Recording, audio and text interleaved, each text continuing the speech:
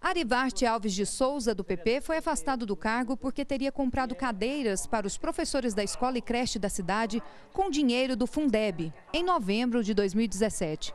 Mas, segundo a presidência da Câmara, elas não teriam sido entregues no prazo e com a qualidade especificadas na nota. Eles receberam parte desse material e essa parte desse material que foram entregues lá ainda veio de maneira diferente. Eles compraram uma coisa e os móveis veio de maneira diferente. Para o prefeito, a denúncia se trata de perseguição política. Esse grupo opositor estão no poder há mais de 18 anos.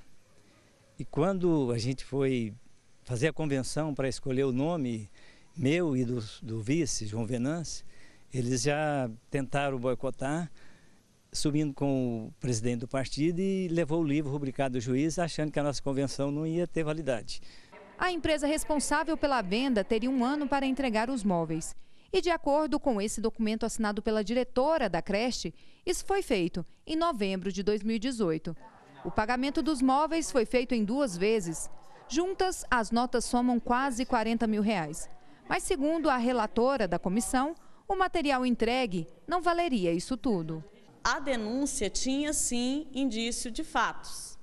E aí foi feito é, é, uma comissão e se deu andamento ao processo. Arivarte Alves foi convidado pela comissão para se explicar, mas preferiu esclarecer apenas por escrito. Primeira de, defesa minha, eles não acataram a defesa, continuaram. Eu pedi uma, uma liminar, o juiz está até hoje aguardando, não deu. Eles continuaram o processo. Nessa última agora, eles não me intimaram. Mas eu fiquei sabendo que eu estava viajando, cheguei de Brasília, estava viajando, aí contratei um, um advogado para ir lá me representar oralmente e pedir prazo, porque eu não fui notificado.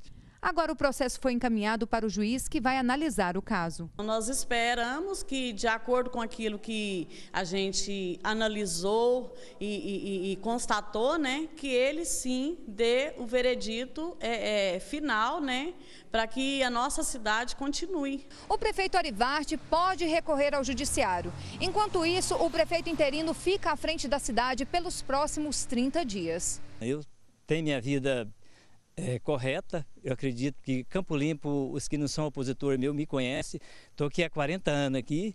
Não tem ninguém que desabona, do pessoal de, de bem, que desabona a minha pessoa.